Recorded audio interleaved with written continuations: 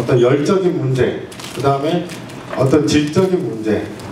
이런 것들을 이제 프로세스 컨트롤 할 때 이럴 때 이제 사용하는 목적으로 쓰는데요. 뭐 여기에 기술되지 않은 여러 가지가 있지만 주로 이제 많이 쓰는 게 이제 그 machine인 모니터링하고 뭐 food inspection, 그다음에 remote 모니터링 하는 거. 그 remote 모니터링 부분은 이제 실제로 어, handheld 타입으로 사람이 직접 가서 이제 뭐 현장을 직접 측정을 하고 보고서 쓰고 하는 형태였는데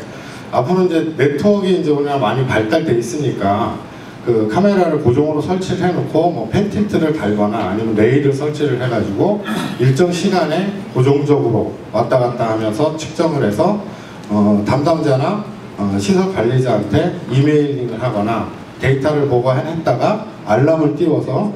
정량적인 거를 알려준다거나 하는 목적으로 사용을 할 수가 있습니다.